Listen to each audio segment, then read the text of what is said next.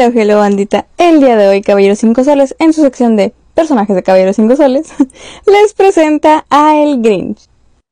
Este personaje nace en el libro infantil de Cómo el Grinch se robó la Navidad en 1957 y reaparece hasta 1966 en una serie animada para la televisión con el mismo nombre del libro.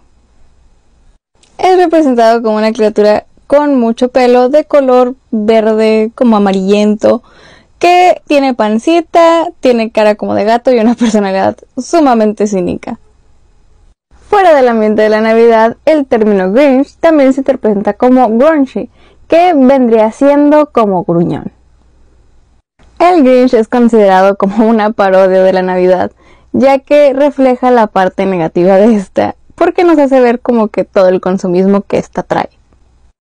Una de las interpretaciones más icónicas del Grinch es la que le dio Jim Carrey en la película El Grinch del 2000. Bajo la interpretación de Los Alegres Quién, el Grinch era así de mala gente, ya que tenía el corazón dos tamaños más pequeño de lo normal, ya que no podían ni siquiera concebir la idea de que odiara tanto la época navideña y sobre todo que odiara tanto los villancicos.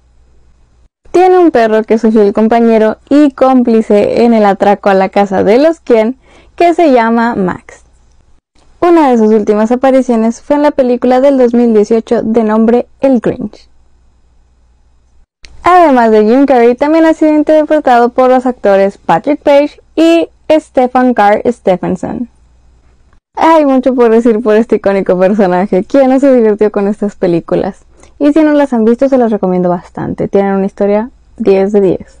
Sin más por el momento, yo espero que les haya gustado mucho este video y que nos den mucho amor en todas nuestras redes sociales. Nos vemos a la próxima.